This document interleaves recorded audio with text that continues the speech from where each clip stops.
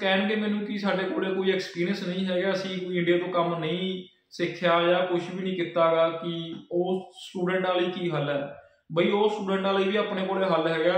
ਤੁਸੀਂ 13.5 ਡਾਲਰ ਪਰ ਆਵਰ ਸੀਗਾ ਬਈ ਵੇਜ ਤੇ ਹੁਣ ਇਹਨਾਂ ਨੇ ਨਿਊ ਫਾਊਂਡਲੈਂਡ ਦੇ ਵਿੱਚ ਵੇਜ ਰੇਟ ਵਧਾ ਦਿੱਤਾਗਾ ਉਹ 14.5 ਕਰ ਦਿੱਤਾ ਤੁਸੀਂ ਤੁਸੀਂ ਆਪਣੇ ਸਰੀ ਵਾਲੇ ਪਾਸੇ ਨਹੀਂ ਗਏ, ਤੁਸੀਂ ਬਰੈਂਪਟਨ ਵਾਲੇ ਪਾਸੇ ਨਹੀਂ ਗਏ, ਟੋਰਾਂਟੋ ਵਾਲੇ ਪਾਸੇ ਨਹੀਂ ਗਏ, ਬਈ ਮੈਂ ਤੁਹਾਨੂੰ ਦੱਸਦਾ ਮੈਂ ਨਿਊ ਫਾਊਂਡਲੈਂਡ ਕਿਉਂ ਚੂਜ਼ ਕੀਤਾ? ਬਈ ਇੱਥੇ ਪੀਆਰ ਜਲਦੀ ਹੋ ਜਾਂਦੀ ਹੈ। ਸਭ ਤੋਂ ਰੈਸਟੋਰੈਂਟਸ ਨੇ, ਜਿਵੇਂ ਤੁਹਾਨੂੰ ਰੈਸਟੋਰੈਂਟਸ ਤੇ ਜੌਬ ਮਿਲ ਜੂਗੀ 14.5 ਡਾਲਰ ਦੇ ਪਰ ਘੰਟੇ ਦੇ ਹਿਸਾਬ ਨਾਲ। ਤੇ ਉਹ- ਤੇ ਹੁਣ ਬਈ ਆਉਣੇ ਆਪਾਂ ਕੈਸ਼ ਜੌਬਸ ਨੂੰ ਲੈ ਕੇ, ਕਿ ਸਟੂਡੈਂਟਸ ਪੁੱਛਦੇ ਕਿ ਕੈਸ਼ ਤੇ ਸਾਨੂੰ ਕੰਮ ਮਿਲ ਜਾਂਦਾ ਕਿ ਨਾ। ਇੱਥੇ ਬਰੈਂਪਟਨ ਟੋਰਾਂਟੋ ਵਿੱਚੋਂ ਵੀ ਕਾਫੀ ਸਾਰੇ ਆ ਰਹੇ ਨੇ, ਜਿਨ੍ਹਾਂ ਕੋਲੇ ਆਪਣੇ 2 ਸਾਲਾਂ ਦੀ ਸਟੱਡੀ ਪੂਰੀ ਕਰਨ ਤੋਂ ਬਾਅਦ ਉਧਰ ਪੀਆਰ ਥੋੜੀ ਔਖੀ ਆ, ਤੇ ਪੀਆਰ ਲੈਣ ਲਈ ਉਹ ਇੱਧਰ ਮੂਵ ਹੋ ਜਾਂਦੇ ਨੇ ਨਿਊ ਫਾਊਂਡਲੈਂਡ ਵਿੱਚ।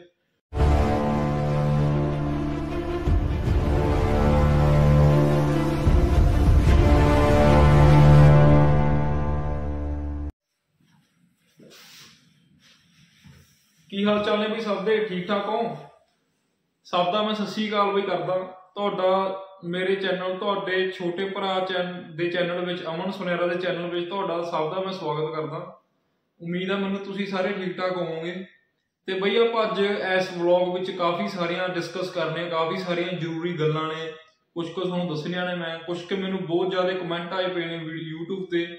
ਕਿ ਤੁਸੀਂ ਜੌਬਸ ਦੇ ਰਿਲੇਟਡ ਆਪਣੇ ਵੀਡੀਓ ਲੈ ਕੇ ਆਓ, ਸਾਨੂੰ ਦੱਸੋ ਕਿ ਸੈਂਟ ਜੌਨਸ ਵਿੱਚ ਕਿੱਦਾਂ ਦੀਆਂ ਜੌਬਸ ਹੁੰਦੀਆਂ ਨੇ ਤੇ ਸਟੂਡੈਂਟ ਲਈ ਕੰਮ ਮਿਲ ਜਾਂਦਾ ਕਿ ਨਾ। ਇੱਕ ਮੇਰੇ ਵੀਰ ਜਿਹੜੇ ਆਊਟ ਆਫ ਪ੍ਰੋਵਿੰਸ ਤੋਂ ਆ ਰਹੇ ਨੇ ਨਿਊ ਫਾਊਂਡਲੈਂਡ ਵਿੱਚ, ਉਹਨਾਂ ਵਾਸਤੇ ਉਹ ਵੀ ਮੈਨੂੰ ਕਹਿ ਰਹੇ ਨੇ ਕਿ ਬਈ ਦੱਸਿਓ ਸਾਨੂੰ ਵੀ ਨਿਊ ਫਾਊਂਡਲੈਂਡ ਦੇ ਵਿੱਚ ਜੌਬ ਮਿਲਦੀ ਹੈ ਕਿੱਦਾਂ ਦੀਆਂ ਮਿਲਦੀਆਂ ਨੇ, ਕਿੰਨਾ ਕੁ ਕੰਮ ਹੈ, ਕਿੰਨਾ ਕੁ ਨਹੀਂ ਕੰਮ ਹੈ, ਸਾਰਾ ਓਵਰਆਲ ਤੁਹਾਨੂੰ ਮੈਂ ਅੱਜ ਇਸ ਵੀਡੀਓ ਵਿੱਚ ਬਈ ਤੁਹਾਨੂੰ ਦੱਸੂਗਾ। ਇੰਡੀਆ ਤੋਂ ਵੀ ਕਾਫੀ ਸਾਰੇ ਸਟੂਡੈਂਟਸ ਨੇ ਜੋ ਪੁੱਛ ਰਹੇ ਨੇ ਕਿ ਸਾਨੂੰ ਜੌਬਸ ਦੇ ਸਰ ਜੌਬਸ ਬਾਰੇ ਦੱਸੋ ਕੁਝ ਤਾਂ ਬਈ ਉਸ ਚੀਜ਼ ਬਾਰੇ ਤੁਹਾਨੂੰ ਮੈਂ ਅੱਜ ਆਪਣੀ ਵੀਡੀਓ ਦੇ ਵਿੱਚ ਤਾਂ ਸਾਰਾ ਕੁਝ ਕਨਫਰਮ ਕਰ ਦੂੰਗਾ। ਵੈਸੇ ਸੋਰੀ ਯਾਰ, ਕਿਉਂਕਿ ਮੇਰੇ ਕੋਲ ਨਾ ਟਾਈਮਿੰਗ ਦੀ ਸ਼ਾਰਟੇਜ ਹੁੰਦੀ ਹੈਗੀ ਤੇ ਟਾਈਮਿੰਗ ਕਾਰਨ ਮੈਂ ਕਿਸੇ ਦਾ ਕਮੈਂਟ ਵਿੱਚ ਰਿਪਲਾਈ ਨਹੀਂ ਕਰ ਸਕਦਾਗਾ। ਤੇ ਇੱਕ ਮੈਂ ਵਲੌਗ ਕਾਫੀ ਲੇਟ ਲੈ ਕੇ ਆ ਰਿਹਾਗਾ। ਚਲੋ ਇੰਡੀਆ ਦਾ ਆਪਾਂ, ਮੈਂ ਫ੍ਰੀ ਹੁੰਦਾ ਸੀਗਾ, ਕੋਈ ਇੱਥੋਂ ਇੰਨਾ ਜ਼ਿਆਦਾ ਬਿਜ਼ੀ ਨਹੀਂ ਹੁੰਦਾ ਸੀਗਾ। ਮੈਂ ਇੰਡੀਆ ਦੇ, ਚਲੋ ਆਪਾਂ ਫ੍ਰੀ ਟਾਈਮ ਵਿੱਚ ਵਲੌਗ ਕ੍ਰੀਏਟ ਕਰ ਲੈਂਦਾ ਸੀਗਾ। ਪਰ ਬਈ ਇੱਥੇ ਆ ਕੇ ਯਾਰ ਤੁਹਾਨੂੰ ਵੀ ਪਤਾ ਹੈਗਾ ਕਿ ਇੱਕ ਸਟੂਡੈਂਟ ਦੀ ਲਾਈਫ ਕਿੰਨੀ ਬਿਜ਼ੀ ਹੋ ਜਾਂਦੀ ਹੈਗੀ। ਕਿਉਂਕਿ ਸਟੂਡੈਂਟ ਨੂੰ ਇੱਕ ਤਾਂ ਆਪਣੇ ਕਾਲਜ ਦਾ ਸਾਰਾ ਅਸਾਈਨਮੈਂਟਸ ਹੁੰਦੀਆਂ ਨੇ ਤੇ ਸਟੱਡੀ ਕਰਨੀ ਪੈਂਦੀ ਹੈਗੀ ਐਗਜ਼ਾਮ ਵਗੈਰਾ ਕਲੀਅਰ ਕਰਨੇ ਪੈਂਦੇ ਨੇ। ਦੂਜਾ ਫਿਰ ਆਪਣੇ ਨਾਲ ਨਾਲ ਜੌਬਸ ਹੁੰਦੀਆਂ ਨੇ ਪਾਰਟ ਟਾਈਮ ਜੌਬਸ ਹੀ ਮੈਨੇਜ ਕਰਨੀਆਂ ਪੈਂਦੀਆਂ ਨੇ। ਤੇ ਕਾਫੀ ਕੁਝ ਯਾਰ ਆ ਜਾਂਦਾ, ਖਰਚੇ ਹੁੰਦੇ ਨੇ ਸਟੂਡੈਂਟ ਦੇ, ਬਹੁਤ ਜ਼ਿਆਦਾ ਕੁਝ ਆ ਜਾਂਦਾ। ਤੁਹਾਨੂੰ ਮੈਂ ਸਾਰਾ ਸਾਰਾ ਕੁਝ ਬਾਕੀ ਅੱਗੇ ਆਉਣ ਵਾਲੀ ਵੀਡੀਓਜ਼ ਵਿੱਚ ਤੁਹਾਨੂੰ ਮੈਂ ਦੱਸੂਗਾ ਕਿ ਸਟੂਡੈਂਟ ਦੇ ਕਿੰਨੇ ਖਰਚੇ ਹੁੰਦੇ ਨੇ। ਸਟੂਡੈਂਟ ਇੱਥੇ ਕਿੰਨਾ ਸੇਵ ਕਰ ਪਾਉਂਦਾ, ਆਪਦੀ ਜਿਹੜੀ ਸੈਲਰੀ ਹੁੰਦੀ ਹੈ ਜੌਬ ਤੋਂ, ਕਿੰਨਾ ਸਟੂਡੈਂਟ ਨੂੰ ਬਣਦਾਗਾ ਤੇ ਕੀ ਸਟੂਡੈਂਟ ਦੀ ਲਾਈਫ ਆ ਵੀ ਸਾਰਾ ਕੁਝ ਤੁਹਾਨੂੰ ਮੈਂ ਅੱਗੇ ਆਉਣ ਵਾਲੀ ਵੀਡੀਓ ਵਿੱਚ ਸਾਰਾ ਕੁਝ ਦੱਸ ਦੂੰਗਾ। ਤੇ ਚਲੋ ਆਪਾਂ ਟਾਈਮ ਵੇਸਟ ਨਾ ਕਰਦੇ ਹੋਈਏ, ਮੈਂ ਆਪਾਂ ਮੇਨ ਟੌਪਿਕ ਤੇ ਆਉਣਾਗਾ ਵੀ ਅੱਜ ਮੈਂ ਤੁਹਾਨੂੰ ਦੱਸੂਗਾ ਕਿ ਨਿਊ ਫਾਊਂਡਲੈਂਡ ਵਿੱਚ ਜੌਬਸ ਹੁੰਦੀਆਂ ਨੇ, ਕਿੱਦਾਂ ਦੀ ਜੌਬਸ ਹੁੰਦੀਆਂ ਨੇ, ਤੇ ਕਿੰਨਾ ਕੁ ਕੰਮ ਇੱਥੇ ਹੈਗਾ ਬਈ ਤੇ ਕਿੰਨਾ ਕੁ ਨਹੀਂ ਹੈਗਾ। ਸਭ ਤੋਂ ਪਹਿਲਾਂ ਵੀ ਤੁਹਾਨੂੰ ਮੈਂ ਆਪਣੀ ਇੰਟਰੋਡਕਸ਼ਨ ਦਿੰਦਾਗਾ ਕਿ ਮੈਂ ਨਿਊ ਫਾਊਂਡਲੈਂਡ ਦੇ ਵਿੱਚ ਕਿਹੜੀ ਸਿਟੀ ਵਿੱਚ ਹਾਂ। ਬਾਈ ਜੀ, ਮੈਂ ਆਪਣੇ ਨਿਊ ਫਾਊਂਡਲੈਂਡ ਦਾ ਪ੍ਰੋਵਿੰਸ ਹੈ ਇੱਕ ਕੈਨੇਡਾ ਦਾ, ਕੈਨੇਡਾ 'ਚ ਪ੍ਰੋਵਿੰਸ ਹੈ ਇੱਕ Newfoundland and Labrador province ਦਾ ਨਾਮ ਹੈ ਤੇ ਇੱਥੇ ਇੱਕ ਸੈਂਟ ਜੌਨਸ ਸਿਟੀ ਹੈ ਸੈਂਟ ਜੌਨਸ ਸਿਟੀ ਸਭ ਤੋਂ ਵੱਡੀ ਸਿਟੀ ਮੰਨੀ ਗਈ ਹੈ ਨਿਊ ਫਾਊਂਡਲੈਂਡ ਦੀ। ਬਾਕੀ ਸਿਟੀਆਂ ਜਿਵੇਂ ਕੋਰਨਰ ਬਰੂਕ ਹੋ ਗਿਆ ਤੇ ਗੈਂਡਰ ਹੋ ਗਿਆ। ਸਟੀਫਨ ਵਿਲੇ ਬਹੁਤ ਸਾਰੀਆਂ ਸਿਟੀਜ਼ ਆ ਜਾਂਦੀਆਂ ਨੇ। ਹੈਪੀ ਵੇਲੇ ਬੂਸ ਵੀ ਆ ਜਾਂਦਾਗਾ। ਆਪਣੇ ਜਿਹੜੇ ਕਾਲਜ ਹੁੰਦੇ ਨੇ College of North of Atlantic ਜਿਹੜੇ ਪੰਜਾਬ ਤੋਂ ਆਪਣੇ ਸਟੂਡੈਂਟਸ ਆ ਰਹੇ ਨੇ, ਇਹੀ ਕਾਲਜ ਵਿੱਚ ਆ ਰਹੇ ਨੇ। ਇੱਕ ਇੱਥੇ ਨਿਊ ਫਾਊਂਡਲੈਂਡ ਵਿੱਚ ਇੱਕ ਹੀ ਕਾਲਜ ਹੈਗਾ college of the North Atlantic ਜਿਹੜਾ ਗਵਰਨਮੈਂਟ ਕਾਲਜ ਹੈ। ਤੇ ਇਹ ਗਵਰਨਮੈਂਟ ਦੇ ਵਿੱਚ ਹੀ ਆਪਾਂ ਨੂੰ ਐਡਮਿਸ਼ਨ ਮਿਲਦੀ ਹੈ। ਇੰਟਰਨੈਸ਼ਨਲ ਜਿਹੜੇ ਸਟੂਡੈਂਟਸ ਐਕਸੈਪਟ ਕਰਦਾ ਕਾਲਜ ਇਹ ਪੀਟੀਈ ਵੀ ਐਕਸੈਪਟ ਕਰਦਾ। 53 ਪਲੱਸ ਹੋਣੇ ਚਾਹੀਦੇ ਨੇ ਬਈ ਪਲੱਸ 2 ਵਾਲਿਆਂ ਦੇ। ਜਿਨ੍ਹਾਂ ਦੇ ਪਲੱਸ 2 ਕੀਤੀ ਹੋਈ ਆ ਪਲੱਸ 2 ਤੋਂ ਬਾਅਦ 53 ਹੈਗੇ ਨੇ ਸਕੋਰ ਪੀਟੀ ਦੇ ਉੱਤੇ। ਉਹਨਾਂ ਦਾ ਬਈ ਵੀਜ਼ਾ ਆ ਜਾਂਦਾਗਾ ਮੇਰੇ 56 ਸੀਗੇ ਓਵਰਆਲ ਤੇ ਨੋਟ ਲੈਸ ਦੈਨ 54 ਸੀ, ਮੇਰਾ ਵੀਜ਼ਾ ਆ ਗਿਆ ਸੀਗਾ। ਤੇ ਮੈਂ ਸਟੂਡੈਂਟ ਆ ਬਈ ਕਾਲਜ ਆਫ ਨਾਰਥ ਅਟਲਾਂਟਿਕ ਵਿੱਚ ਹੀ ਮੇਰੀ ਸਟੱਡੀ ਚੱਲ ਰਹੀ ਹੈ ਰਿਕਾਰਡਸ ਐਂਡ ਇਨਫੋਰਮੇਸ਼ਨ ਮੈਨੇਜਮੈਂਟ ਮੇਰੇ ਕੋਲ ਪ੍ਰੋਗਰਾਮ ਹੈ ਤੇ ਹੁਣ ਆਪਾਂ ਆ ਜਾਂਦੇ ਕਾਲਜ ਦੇ, ਛੱਡ ਕੇ ਦੂਜੇ ਪਾਸੇ ਆ ਜਾਂਦੇ ਕਿ ਕੰਮਕਾਰ ਕਿੱਦਾਂ ਹੈ ਕਿੱਦਾਂ ਨਹੀਂ ਕੰਮਕਾਰ। ਇੱਕ ਗੱਲ ਵੀ ਹੁਣ ਮੈਂ ਤੁਹਾਨੂੰ ਮੈਂ ਇੱਕ ਹੋਰ ਕਨਫਰਮ ਦੱਸਣਾ ਚਾਹਾਂਗਾ ਕਿ ਸਟੂਡੈਂਟਸ ਆਪਣੇ ਕਾਫੀ ਜ਼ਿਆਦਾ ਆ ਰਹੇ ਨੇ ਇੱਥੇ। ਜਿਸ ਟਾਈਮ ਮੈਂ ਆਇਆ ਸੀਗਾ ਇੱਥੇ ਸੈਂਟ ਜੌਨਸ ਵਿੱਚ, ਉਸ ਟਾਈਮ ਵੀ ਕਾਫੀ ਜ਼ਿਆਦਾ ਗਿਣਤੀ ਵਿੱਚ ਘੱਟ ਪੰਜਾਬੀ ਹੁੰਦੇ ਸੀਗੇ ਇੱਥੇ। ਮੈਂ ਆਇਆ ਸੀਗਾ ਸਤੰਬਰ 2022 ਵਿੱਚ ਆਇਆ ਸੀਗਾ, ਮੇਰਾ ਸਤੰਬਰ ਇਨਟੇਕ ਸੀਗਾ। ਤੇ ਫਾਈਨਲੀ ਮੈਨੂੰ ਆਫਰ ਲੈਟਰ ਮਿਲ ਗਿਆ ਸੀਗਾ ਇਨਟੇਕ ਮਿਲ ਗਿਆ ਸੀਗਾ ਸਤੰਬਰ। ਤੇ ਮੇਰੇ ਕੋਲੇ ਕਾਲਜ ਦਾ ਜੋ ਮੇਰਾ ਕੈਂਪਸ ਆ ਬਈ ਉਹ Prince Philip Drive campus campus ਆ। ਇਹ ਕੈਂਪਸ ਬਈ ਸਭ ਤੋਂ ਵੱਡਾ ਹੈਗਾ ਸੈਂਟ ਜੌਨਸ ਸਿਟੀ ਦਾ, ਵੱਡੀ ਸਿਟੀ ਵਿੱਚ ਹੈ ਨਿਊ ਫਾਊਂਡਲੈਂਡ ਦੇ। ਤੇ ਆਪਾਂ ਗੱਲ ਕਰ ਰਹੇ ਸੀਗੇ ਸਟੂਡੈਂਟਸ ਦੀ ਕਿ ਕਾਫੀ ਜ਼ਿਆਦਾ ਸਟੂਡੈਂਟਸ ਆ ਰਹੇ ਨੇ। ਹਾਂ ਬਈ, ਇੱਥੇ ਪੰਜਾਬੀ ਦੀ ਜੋ ਗਿਣਤੀ ਹੈਗੀ, ਜੇ ਆਪਾਂ ਪਹਿਲਾਂ ਦੇ ਟਾਈਮ ਤੇ ਆਪਾਂ ਲੈ ਕੇ ਚੱਲੀਏ ਨਿਊ ਫਾਊਂਡਲੈਂਡ ਦੇ ਯਾਨੀ 2018 ਵਿੱਚ 2019 ਵਿੱਚ 2015 ਦੇ ਆਸ-ਪਾਸ ਇੱਥੇ ਪਹਿਲਾਂ ਵਾਲੇ ਪੰਜਾਬੀ ਵੀ ਰਹਿ ਰਹੇ ਨੇ, ਉਹਨਾਂ ਤੋਂ ਵੀ ਮੈਂ ਕਨਫਰਮ ਕੀਤਾ ਸੀਗਾ ਕਿ ਦੱਸੋ ਬਈ ਆਪਣੇ ਉਸ ਟਾਈਮ ਕਿੰਨੇ ਕੁ ਪੰਜਾਬੀ ਹੁੰਦੇ ਸੀਗੇ ਤੇ ਅੱਜ ਜੋ ਪੰਜਾਬੀ ਆ ਰਹੇ ਨੇ, ਉਹਨਾਂ ਦੀ ਕਿੰਨੀ ਕੁ ਗਿਣਤੀ ਦੇ ਆਸ-ਪਾਸ ਨੇ। ਉਹਨਾਂ ਤੋਂ ਮੈਂ ਐਕਸਪੀਰੀਅੰਸ ਲਿਆ ਉਹਨਾਂ ਤੋਂ ਮੈਂ ਗੱਲਾਂ ਬਾਤਾਂ ਪੁੱਛੀ ਉਹਨਾਂ ਨੇ ਮੈਨੂੰ ਦੱਸਿਆ ਕਿ 2015 ਤੇ ਲੈ ਕੇ ਜਿਹੜੇ ਇੱਥੇ ਆਏ ਹੋਏ ਨੇ ਸਟੂਡੈਂਟਸ ਆਏ ਸੀਗੇ ਆਪਣੇ ਕਾਲਜ ਆਫ ਨਾਰਥ ਐਟਲਾਂਟਿਕ ਵਿੱਚ, ਉਸ ਟਾਈਮ ਬਈ ਕਾਫੀ ਜ਼ਿਆਦਾ ਪੰਜਾਬੀ ਦੀ ਗਿਣਤੀ ਘੱਟ ਹੁੰਦੀ ਸੀਗੀ, ਪਰ ਜਿਸ ਟਾਈਮ ਮੈਂ ਆਇਆ, ਉਹ ਕਹਿੰਦੇ ਵੀ 2022 ਵਿੱਚ ਤਾਂ ਕਾਫੀ ਜ਼ਿਆਦਾ ਵੱਧ ਗਈ ਸੀਗੀ। ਤੇ ਹੁਣ ਆ ਗਿਆ 2023 ਤੇ 2023 ਵਿੱਚ ਬਈ ਮੈਨੂੰ ਖੁਦ ਨੂੰ ਮਹਿਸੂਸ ਹੋ ਰਿਹਾਗਾ ਮੈਂ ਖੁਦ ਆਪਦੀ ਅੱਖਾਂ ਨਾਲ ਦੇਖਿਆ ਕਾਲਜ ਜਾ ਕੇ ਕਿ ਕਿੰਨੇ ਯਾਰ ਜ਼ਿਆਦਾ ਸਟੂਡੈਂਟਸ ਆਪਣੇ ਆ ਗਏ, ਪੰਜਾਬ ਤੋਂ ਆ ਚੁੱਕੇ ਨੇ। ਬਈ ਤੁਸੀਂ ਤੁਹਾਨੂੰ ਯਕੀਨ ਨਹੀਂ ਹੋਣਾ, ਇੱਕ ਕਲਾਸ ਵਿੱਚ ਘੱਟੋ ਘੱਟ 25 26 ਸਾਰੇ ਦੇ ਸਾਰੇ ਉਹ ਪੰਜਾਬੀ ਨੇ ਬੰਦੇ। ਮੈਂ ਦੇਖਿਆ ਜਾ ਕੇ ਇੱਕ ਨਵਾਂ ਜਿਹੜਾ ਬੈਚ ਆਇਆ ਮਾਈਨ ਟੇਕ ਵਾਲਾ, ਉਹਦੇ ਵਿੱਚ 25 26 ਸਟੂਡੈਂਟਸ ਨੇ, ਉਹ ਸਾਰੇ ਦੇ ਸਾਰੇ ਪੰਜਾਬੀ ਨੇ, ਸਾਰੀ ਪੰਜਾਬੀ ਦੀ ਕਲਾਸ ਹੀ ਭਰੀ ਪਈ ਹੈ। ਕਿਉਂਕਿ ਮੇਰੇ ਵਾਲੇ ਇਨਟੇਕ ਤੇ ਜਦੋਂ ਮੈਂ ਆਇਆ ਸੀ, ਉਸ ਟਾਈਮ ਵੀ ਇੰਨੇ ਹੈ ਨਹੀਂ ਸੀ ਪੰਜਾਬੀ, ਸਾਰੇ ਗੋਰੇ ਹੁੰਦੇ ਸੀਗੇ, ਗੋਰੇ ਗੋਰੀਆਂ ਤੇ ਅਸੀਂ ਤਿੰਨ ਚਾਰ ਹੀ ਹੁੰਦੇ ਸੀਗੇ ਪੰਜਾਬੀ। ਤੇ ਸਭ ਤੋਂ ਵੱਡੀ ਗੱਲ ਆ ਯਾਰ ਤੇ ਸਭ ਤੋਂ ਖੁਸ਼ੀ ਦੀ ਗੱਲ ਵੀ ਹੈ ਕਿ ਚਲੋ ਇੱਕ ਨਵੀਂ ਪਲੇਸ ਦੇ ਕੈਨੇਡਾ ਦੇ ਵਿੱਚ ਨਿਊ ਫਾਊਂਡਲੈਂਡ ਦੇ ਵਿੱਚ ਆਪਣੇ ਪੰਜਾਬੀਆਂ ਦੀ ਗਿਣਤੀ ਵੀ ਜ਼ਿਆਦਾ ਹੋਣ ਲੱਗੀ ਆਪਦਾ ਵੀ ਯਾਰ ਜੀ ਲੱਗਦਾਗਾ ਤੇ ਬਹੁਤ ਵੱਡੀ ਗੱਲ ਹੈ ਕਿ ਆਪਣੇ ਵਾਸਤੇ ਕਿ ਚਲੋ ਪੰਜਾਬੀ ਕਮਿਊਨਿਟੀ ਇੱਥੇ ਵਧਣ ਲੱਗੀ ਤੇ ਆਉਣ ਵਾਲੇ ਟਾਈਮ ਤੇ ਮੈਨੂੰ ਯਾਰ ਯਕੀਨ ਆ ਕਿ ਹੋਰ ਵੀ ਜ਼ਿਆਦਾ ਇਹ ਵਧੀ ਵਧੀ ਜਾਊਗੀ। ਕਿਉਂਕਿ ਅਜੇ ਸਤੰਬਰ ਇਨਟੇਕ ਆਉਣਾਗਾ, ਸਤੰਬਰ ਇਨਟੇਕ ਵਿੱਚ ਹੋਰ ਵੀ ਪੰਜਾਬੀ ਆਉਣਗੇ ਬਹੁਤ ਜ਼ਿਆਦਾ। ਤੁਸੀਂ ਇਹ ਨਾ ਸੋਚੋ ਕਿ ਤੁਹਾਨੂੰ ਉੱਥੇ ਜਾ ਕੇ ਪੰਜਾਬੀ ਨਹੀਂ ਮਿਲਣਾ ਕੋਈ, ਜਾਂ ਤੁਸੀਂ ਇੱਥੇ ਆਓਗੇ ਨਵੀਂ ਪਲੇਸ ਤੇ, ਤੁਹਾਡਾ ਕੋਈ ਕਿਸੇ ਨਾਲ ਲਿੰਕ ਨਹੀਂ ਹੈਗਾ, ਤੁਹਾਡਾ ਕੋਈ ਰਿਲੇਟਿਵ ਨਹੀਂ ਹੈਗਾ, ਤੁਹਾਡਾ ਕੋਈ ਫਰੈਂਡ ਨਹੀਂ ਹੈਗਾ। ਐਦਾਂ ਨਾ ਸੋਚੋ ਬਈ, ਤੁਸੀਂ, ਤੁਹਾਡਾ ਆਪਣੇ ਆਪ ਹੱਲ ਹੋ ਜਾਂਦਾ, ਕਿਉਂਕਿ ਜਿਸ ਟਾਈਮ ਮੈਂ ਇੱਥੇ ਆਇਆ ਸੀਗਾ, ਮੈਨੂੰ ਵੀ ਕੋਈ ਜਾਣਦਾ ਨਹੀਂ ਸੀਗਾ, ਮੇਰਾ ਵੀ ਕੋਈ ਲਿੰਕ ਨਹੀਂ ਸੀਗਾਗਾ। ਬਸ ਆਪੇ ਅੱਗੇ ਦੇ ਅੱਗੇ ਜਿੱਥੇ ਉਹ ਕਹਿੰਦੇ ਨਾ ਕਿ ਜਦੋਂ ਪਰਮਾਤਮਾ ਚਾਹੁੰਦਾਗਾ, ਰੱਬ ਚਾਹੁੰਦਾਗਾ, ਆਪੀ ਅੱਗੇ ਦੇ ਅੱਗੇ ਲੈਣ ਜੋੜ ਦਿੰਦਾਗਾ। ਬਾਕੀ ਪਰਵਾਹ ਨਾ ਕਰੋ ਵੀ ਪੰਜਾਬੀਜ਼ ਬਹੁਤ ਆ ਚੁੱਕੇ ਨੇ ਇੱਥੇ, ਤੁਹਾਡੀ ਸਾਰੇ ਹੈਲਪ ਕਰਨਗੇ ਬਈ, ਸਾਰੇ ਬੰਦੇ ਘੈਣ ਨੇ ਇੱਥੇ। ਤੇ ਹੁਣ ਆਪਾਂ ਵੀ ਆਉਣੇ ਆਗੇ ਜੌਬਸ ਨੂੰ ਲੈ ਕੇ, ਵੀ ਜੌਬ ਦੇ ਵਿੱਚ ਕੀ ਕੀ ਆਪਾਂ ਨੂੰ ਹੁੰਦਾਗਾ। ਸਭ ਤੋਂ ਪਹਿਲਾਂ ਵੀ ਜਦੋਂ ਤੁਸੀਂ ਇੱਥੇ ਕੈਨੇਡਾ 'ਚ ਐਂਟਰ ਕਰਦੇ ਹੋਗੇ, ਆਪਣੇ ਸੈਂਟ ਜੌਨਸ ਮੇਨ 에ਅਰਪੋਰਟ ਹੈਗਾ ਇੱਥੇ। 에ਅਰਪੋਰਟ ਦੇ ਉਤਰਨ ਸਾਰ ਤੁਸੀਂ ਐਂਟਰ ਹੋ ਜਾਂਦੇ ਹੋਗੇ, ਕੈਨੇਡਾ 'ਚ ਐਂਟਰ ਆ ਜਾਂਦੇ ਹੋਗੇ। ਉਸ ਤੋਂ ਬਾਅਦ ਵੀ ਤੁਸੀਂ ਤੁਹਾਡਾ ਪਹਿਲਾ ਕੰਮ ਹੈ ਸਿਨ ਨੰਬਰ। ਸਿਨ ਨੰਬਰ ਤੁਹਾਨੂੰ ਵੀ ਪਤਾ ਹੋਣਾ ਕਿ ਕਾਫੀ ਮੇਨ ਡਾਕੂਮੈਂਟ ਹੁੰਦਾ ਮੇਨ ਜ਼ਰੂਰੀ ਚੀਜ਼ ਹੁੰਦੀ ਹੈਗੀ। ਹਰ ਇੱਕ ਸਟੂਡੈਂਟ ਵਾਸਤੇ ਇੰਪੋਰਟੈਂਟ ਥਿੰਗ ਹੈ ਇਹ। ਤੇ ਬਈ ਤੁਸੀਂ ਇਹ ਚੀਜ਼ ਸਭ ਤੋਂ ਪਹਿਲਾਂ ਕੈਨੇਡਾ 'ਚ ਕੈਨੇਡਾ 'ਚ ਆ ਕੇ ਇੱਥੇ ਆਪਣਾ ਸਿਨ ਨੰਬਰ ਬਣਾਉਣਾ ਇਹ ਸਿਨ ਨੰਬਰ ਬਣਦਾਗਾ ਆਪਣੇ ਸਰਵਿਸ ਕੈਨੇਡਾ 'ਚ, ਇੱਥੇ ਸਰਵਿਸ ਕੈਨੇਡਾ ਹੈਗਾ ਆਪਣੇ ਸੈਂਟ ਜੌਨਸ 'ਚ। ਤੁਸੀਂ ਕਰਨਾ ਕੀ ਹੈ? ਤੁਸੀਂ ਮੈਪ ਤੇ ਸਰਚ ਕਰ ਰਹੇ ਹੋ ਸੈਂਟ ਜੌਨਸ। ਜੇ ਤੁਹਾਡਾ ਕੋਈ ਫਰੈਂਡ ਹੈਗਾ ਰਿਲੇਟਿਵ ਹੈਗਾ, ਤਾਂ ਤੁਹਾਨੂੰ ਉਹ ਆਪਣੇ ਉਹਨਾਂ ਨਾਲ ਬੈਕ ਚਲੇ ਜਾਇਓ। ਕਾਰ ਵਗੈਰਾ ਜਾਂ ਕਿਸੇ ਕੋਲ ਹੋਈ ਆ, ਬੱਸ ਤੇ ਬੱਸ ਤੇ ਚਲੇ ਜਾਇਓ। ਸਰਵਿਸ ਕੈਨੇਡਾ ਜਾ ਕੇ ਆਪਣਾ ਸਿਨ ਨੰਬਰ ਹੁੰਦਾ, ਜੋ ਉਹ ਬਣਵਾ ਲਿਓ। ਕਿਉਂਕਿ ਵੀ ਜੇ ਤੁਹਾਨੂੰ ਪਤਾ ਹੋਣਾ ਚਾਹੀਦਾ ਕਿ ਇੱਥੋਂ ਕੈਨੇਡਾ 'ਚ ਜਿੰਨੇ ਵੀ EMPLOYER ਹੁੰਦੇ ਨੇ, ਉਹ ਤੁਹਾਨੂੰ ਸਿਨ ਨੰਬਰ ਹੀ ਲੈਂਦੇ ਨੇ। ਸਿਨ ਨੰਬਰ ਤੇ ਆਪਾਂ ਨੂੰ ਕੰਮ ਮਿਲਦਾ ਇੱਥੇ। ਬਿਨਾ ਸਿਨ ਨੰਬਰ ਤੋਂ ਕੋਈ ਕੰਮ ਨਹੀਂ ਮਿਲਦਾ। ਹਾਂ, ਜਿਹੜੀ ਗੱਲ ਆਈ ਕੈਸ਼ ਦੀ ਕੈਸ਼ 'ਚ ਚਲੋ ਮਿਲ ਜਾਂਦਾ ਕੰਮ।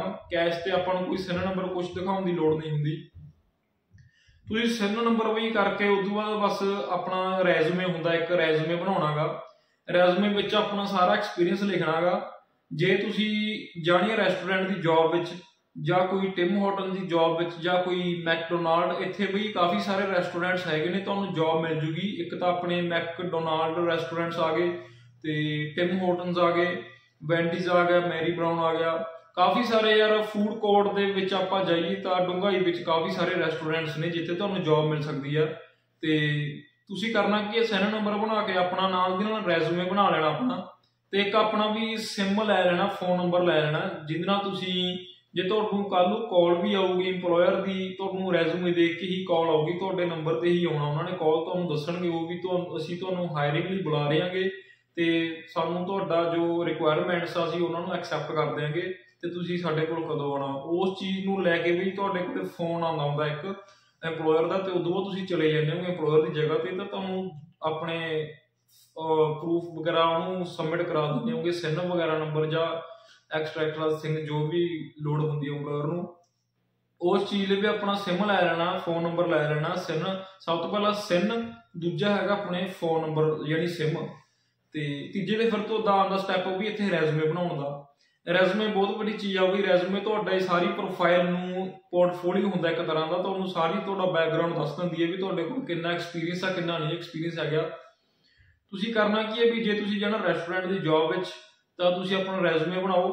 ਰੈਜ਼ੂਮੇ ਉੱਤੇ ਲਿਖੋ ਸਭ ਤੋਂ ਟੌਪ ਤੇ ਆਪਣਾ ਨਾਮ, ਆਪਣਾ ਈਮੇਲ ਤੇ ਆਪਣਾ ਫੋਨ ਨੰਬਰ ਫੋਨ ਨੰਬਰ ਜਿਹੜਾ ਆਪਾਂ ਤੁਸੀਂ ਕੈਨੇਡਾ ਕੇ ਰੱਖਤਾ ਤੇ ਉਸ ਤੋਂ ਬਾਅਦ ਆਪਣੀ ਡਿਊਟੀਆਂ ਲਿਖ ਦਿਓ।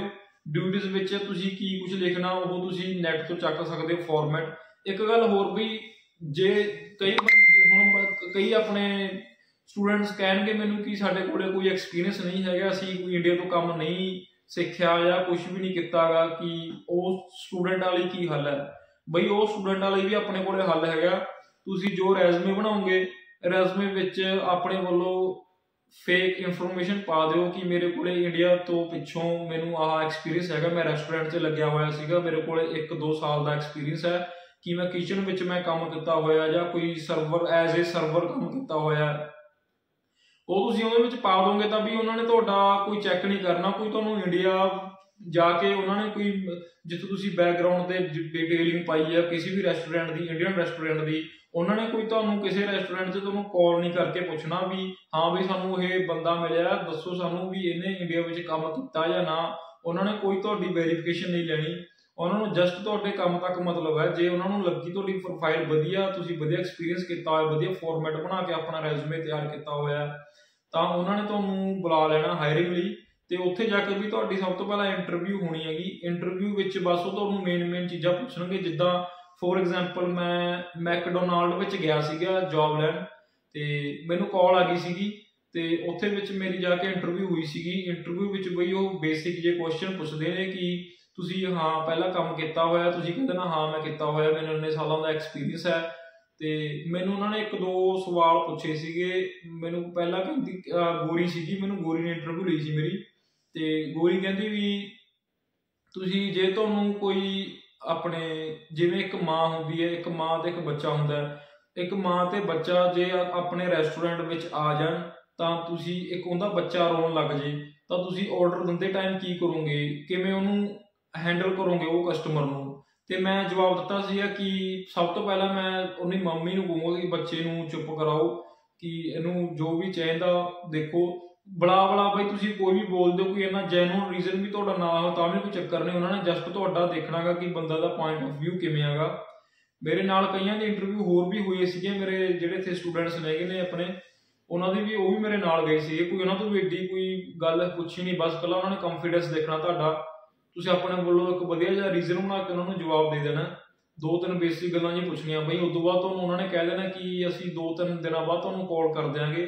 ਇੱਕ ਤੁਹਾਨੂੰ ਉਹਨਾਂ ਨੇ ਪੁੱਛ ਲੈਣਾ ਸਕੇਜੂਲ ਕਿ ਤੁਸੀਂ ਅਵੇਲੇਬਿਲਟੀ ਦੱਸੋ ਆਪਣੀ ਵੀ 7 ਦਿਨ ਕੰਮ ਕਰ ਸਕਦੇ ਹੋ, ਤੁਹਾਨੂੰ ਪਾਰਟ ਟਾਈਮ ਕੰਮ ਚਾਹੀਦਾ ਜਾਂ ਕਿਵੇਂ ਕੰਮ ਚਾਹੀਦਾ ਜਾਂ ਕਿੱਦਾਂ ਕਿੱਦਾਂ। ਉਹ ਤੁਸੀਂ ਆਪਣੇ ਸਕੈਚ ਕਾਲਜ ਦੇ ਅਕੋਰਡਿੰਗ ਉਹਨਾਂ ਨੂੰ ਦੱਸ ਦੇਣਾਗਾ ਕਿ ਸਾਡੇ ਕਾਲਜ ਦੀ ਕਲਾਸਾਂ ਲੱਗਦੀਆਂ ਨੇ ਮੰਡੇ ਤੋਂ ਲੈ ਕੇ ਫਰਾਈਡੇ ਤੱਕ ਤੇ ਸਾਡੇ ਕੋਲੇ ਸੈਟਰਡੇ ਸੰਡੇ ਹੁੰਦਾ ਫ੍ਰੀ ਅਸੀਂ ਸੈਟਰਡੇ ਸੰਡੇ ਨੂੰ ਕੰਮ ਕਰਨਾ। ਕਿਉਂਕਿ college of the North Atlantic ਵਿੱਚ ਮੇਰੇ ਹਿਸਾਬ ਨਾਲ ਸਾਰਿਆਂ ਦੀ ਕਲਾਸਾਂ 5 ਦਿਨ ਹੀ ਹੁੰਦੀਆਂ ਨੇ ਮੰਡੇ ਤੋਂ ਲੈ ਕੇ ਫਰਾਈਡੇ ਵਿੱਚ।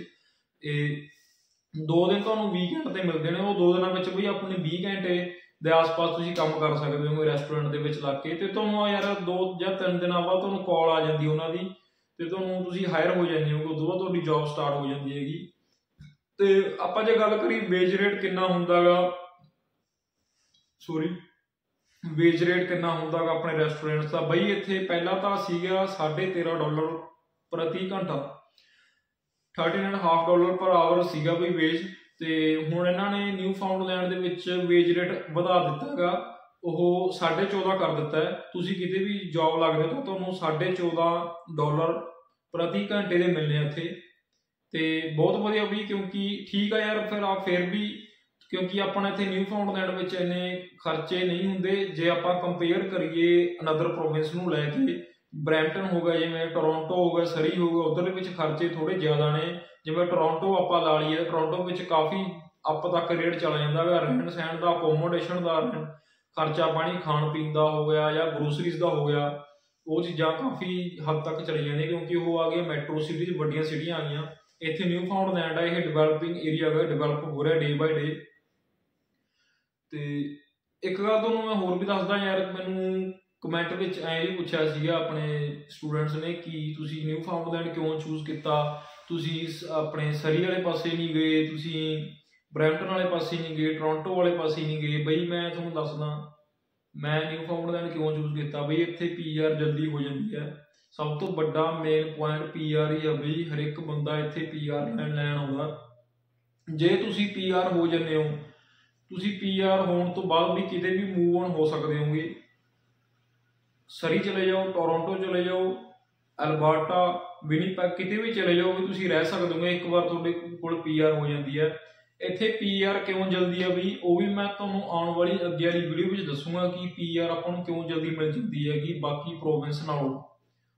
ਕਿਉਂਕਿ ਇਹ ਵਲੋਗ ਆਪਣਾ ਜੌਬਸ ਦਾਗਾ ਕਿ ਮੈਂ ਨਹੀਂ ਚਾਹੁੰਦਾ ਆਪਣੀ ਵੀਡੀਓ ਹੋਰ ਲੰਬੀ ਹੋ ਚੱਲੇ। ਉਹ ਮੈਂ ਤੁਹਾਨੂੰ ਆਉਣ ਵਾਲੇ ਵਲੌਗ ਵਿੱਚ ਦੱਸੂਗਾ।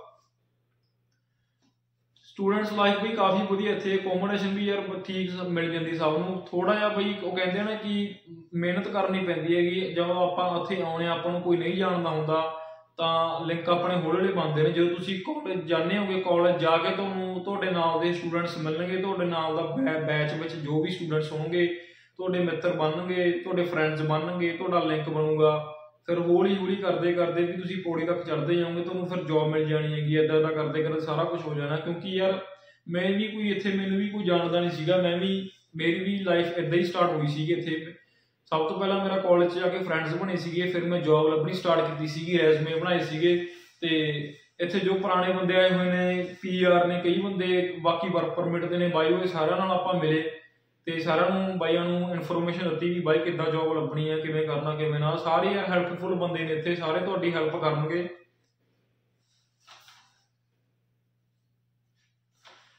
ਜੇ ਆਪਾਂ ਕਰੀਏ ਜੌਬਸ ਦੀ ਗੱਲ ਆਪਾਂ ਨੂੰ ਜੌਬਸ ਕਿੱਥੇ ਕਿੱਥੇ ਮਿਲਦੀਆਂ ਨੇ? ਵੀ ਇੱਥੇ ਆਪਣੇ ਰੈਸਟੋਰੈਂਟਸ ਨੇ, ਜਿਵੇਂ ਤੁਹਾਨੂੰ ਰੈਸਟੋਰੈਂਟਸ ਤੇ ਜੌਬ ਮਿਲ ਜੂਗੀ 14.5 ਡਾਲਰ ਦੇ ਪਰ ਘੰਟੇ ਦੇ ਹਿਸਾਬ ਨਾਲ। ਤੇ ਉਦੋਂ ਬਾਅਦ ਆਪਣੇ ਆਉਂਦੇ ਨੇ ਕਲੱਬਸ ਵਗੈਰਾ ਪੱਬ ਵਗੈਰਾ, ਜਿੱਥੇ ਡਿਸਕੋ ਹੁੰਦਾ, ਆਪਣੇ ਗੋਰੇ ਨੱਚਦੇ ਨੇ। ਉਹਨਾਂ ਵਿੱਚ ਤੁਹਾਨੂੰ as a security guard job ਮਿਲ ਜਾਂਦੀ ਹੈ। ਸਿਕਿਉਰਿਟੀ ਗਾਰਡ ਦੀ ਜੌਬ ਬਈ ਸਭ ਤੋਂ ਵਧੀਆ ਹੈਗੀ, ਇਹਦੇ ਵਿੱਚ ਤੁਹਾਨੂੰ ਪੇ ਰੇਟ ਵੀ ਜ਼ਿਆਦਾ ਮਿਲਣਾਗਾ। ਮੇਰਾ ਫਰੈਂਡ ਲੱਗਿਆ ਹੋਇਆ, ਮੇਰੇ ਨਾਲ ਹੀ ਰਹਿੰਦਾਗਾ ਤੇ ਉਹਨੂੰ ਮੈਂ ਪੁੱਛਿਆ ਤਾਂ ਹੈ ਨਹੀਂ ਕਦੀ ਵੀ ਤੂੰ ਕਿੰਨਾ ਲੈਂਦਾ, ਪਰ ਮੇਰੇ ਗੈਸ ਮੈਂ ਲਾ ਸਕਦਾ ਕਿ 17 ਜਾਂ 18 ਡਾਲਰ ਦੇ ਆਸ-ਪਾਸ ਉਹਦੀ ਹੈਗੀ ਹੈ ਪ੍ਰਤੀ ਘੰਟੇ ਦੀ ਵੇਜ ਰੇਟ ਤੇ ਸਿਕਿਉਰਿਟੀ ਜੌਬ ਦੀ ਜੌਬਸ ਬਹੁਤ ਵਧੀਆ ਵੀ ਤੁਸੀਂ ਕਲੱਬ 'ਚ ਹੁੰਨੇ ਹੋਗੇ ਤੁਹਾਡੇ ਯੂਨੀਫਾਰਮ ਪਾ ਕੇ ਬਸ ਉਹਤੇ ਡਿਊਟੀ ਦੇਣੀ ਆਪਣੀ।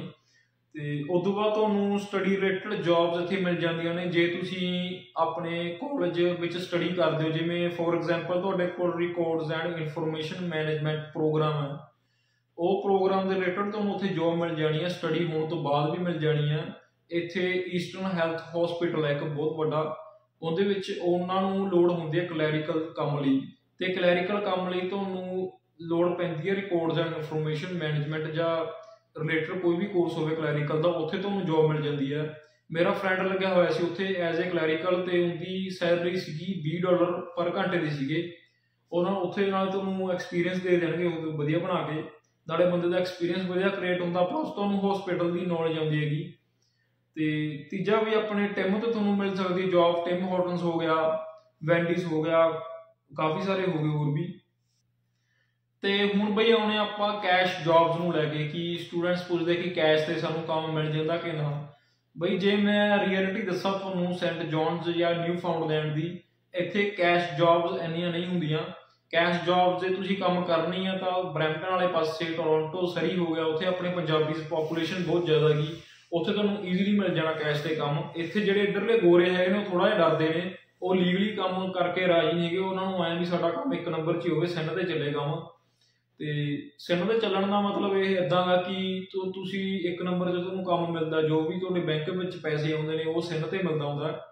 ਉਹਦੇ ਲਈ ਤੁਹਾਨੂੰ 20 ਘੰਟੇ ਹੀ ਕੰਮ ਕਰਨਾ ਪੈਂਦਾ। ਜੇ ਆਪਾਂ ਗੱਲ ਕਰੀਏ ਕੈਸ਼ ਦੀ, ਤਾਂ ਬਾਈ ਕੈਸ਼ ਜੌਬ ਵਾਸਤੇ ਤੁਹਾਨੂੰ ਕੋਈ ਐਕਸਪੀਰੀਅੰਸ ਆਪਣੀ ਐਕਸਪੀਰੀਅੰਸ ਹੋਈ ਐਕਸਪੀਰੀਅੰਸ ਕਿਹਾ ਗਿਆ, ਤੁਹਾਨੂੰ ਕੋਈ ਡਿਟੇਲ ਦੇਣ ਦੀ ਲੋੜ ਨਹੀਂ, ਆਪਣੀ ਸਿਮ ਦੇਣ ਦੀ ਲੋੜ ਨਹੀਂ ਜਸਟ ਤੁਸੀਂ ਉੱਥੇ ਜਾ ਕੇ ਕੰਮ ਕਰਨਾ, ਤੁਹਾਨੂੰ ਕੈਸ਼ EMPLOYER ਤੁਹਾਨੂੰ ਕੈਸ਼ ਪੇ ਕਰ ਦਿੰਦਾ ਹੈਗਾ। ਉਹ ਤੁਸੀਂ 20 ਘੰਟੇ ਤੋਂ ਉੱਤੇ ਵੀ ਕਰ ਸਕਦੇ ਕਿਉਂਕਿ ਉਹਦਾ ਕੋਈ ਪ੍ਰੂਫ ਨਹੀਂ ਹੁੰਦਾ, ਉਹਦੇ ਵਿੱਚ ਕੋਈ ਸੈਨਾ ਨੰਬਰ ਨਹੀਂ ਲੱਗਦਾ ਤੁਹਾਡਾ।